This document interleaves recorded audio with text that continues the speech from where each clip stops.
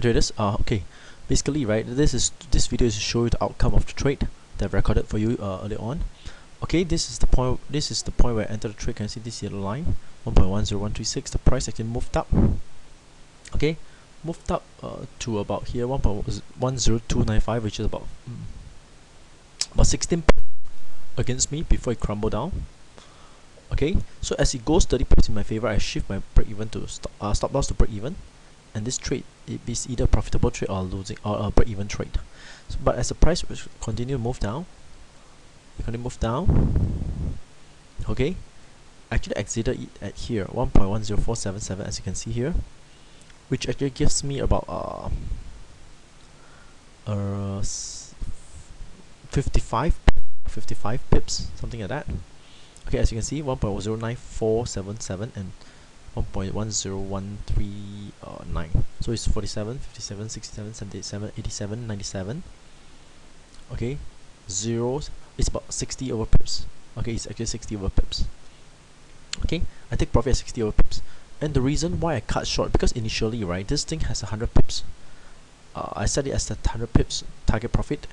Okay and as I look at the higher time frame I find that there's a very strong uh, support level. That's why I shift it to 80 pips. Can you see here 1.10339 I shift 80 pips but as it hits here right I find that it actually keep on being uh, resisted by this level and I'm afraid that it actually later will reverse okay that's why I decided to take, take uh, the trade out at about 60 over pips okay I take the profit out at 60 over pips however what happened here is that the price actually did went up went down went up and eventually went down went up again throughout the night and now where I'm recording to you guys it has hit the 339 target profits. Okay? So actually I make about less 14 pips. I make 14 pips less as compared to my uh, targeted uh, target profit. But it doesn't matter. Okay? Because I see a very strong support level which is actually true. As you can see here it moved down up down up down and move up again. This level is has been tested a lot of time and when level has been tested for a lot of time right there's two possibility one is you will break through okay with a strong candle or you just reverse out.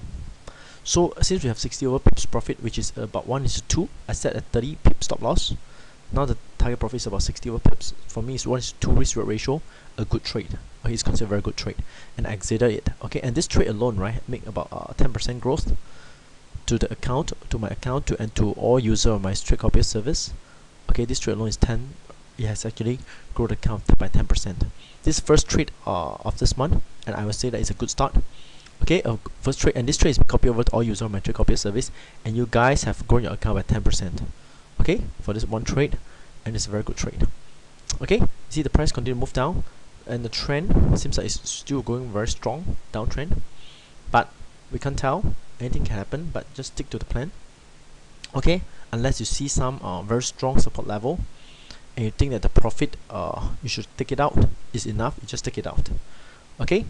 So uh, okay that's all I have for you guys at the moment. Um okay if there's another trade I just record for you guys I'll talk to you again